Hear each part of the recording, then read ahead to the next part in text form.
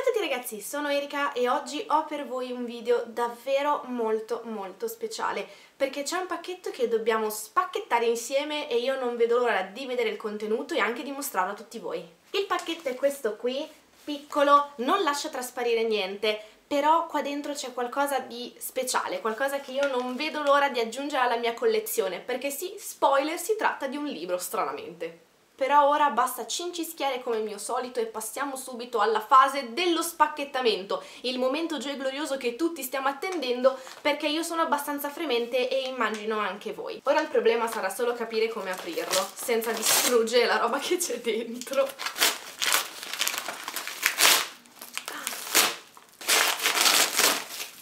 Lo stiamo facendo a pezzi! Vedo cose meravigliose cose meravigliose! Ma noi partiremo dal libro perché penso che sia questo quello che sta incuriosendo tutti dall'inizio del video e il libro in questione è Dream Hunters, il ponte illusorio di Miriam Benothman. Libro che mi è arrivato con tanto di bellissimo segnalibro perché è veramente stupendo, forma, disegno, questa collana la vorrei anch'io. E udite udite, gioia e tripudio nel regno, mi è arrivato anche con tanto di canottiera con la copertina del libro. Ma ora, tornando al libro, Dream Hunters il ponte illusorio è stato scritto da un'autrice italiana ed è un romanzo fantasy e nel momento in cui vi svelerò un pochino la trama capirete tutti perché ho accettato questa collaborazione, perché questa trama unisce tante delle mie cose preferite. Ve la leggo perché è molto più esplicativa di quanto io sarò mai in grado di essere.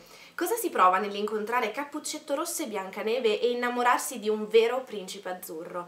Tra le vie di Parigi, Sophie si imbatte in un antico libro di favole ed è vittima di un'allucinazione. Hanno così inizio i suoi sogni vividi e surreali, ambientati in una dimensione parallela popolata da personaggi incantati.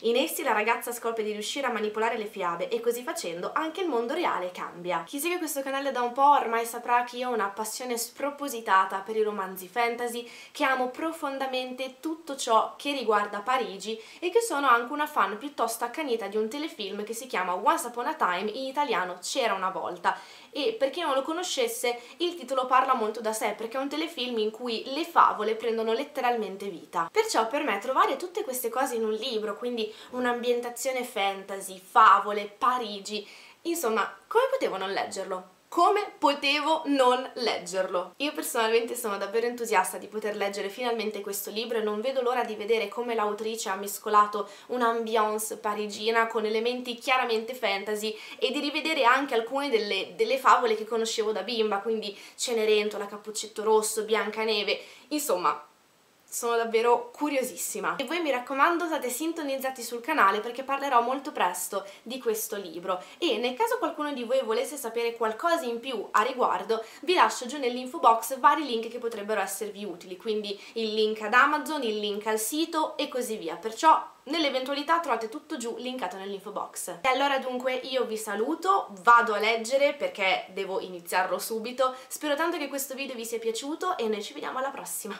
Ciao!